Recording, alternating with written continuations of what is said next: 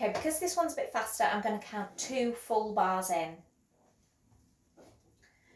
One, two, three, one, two, three.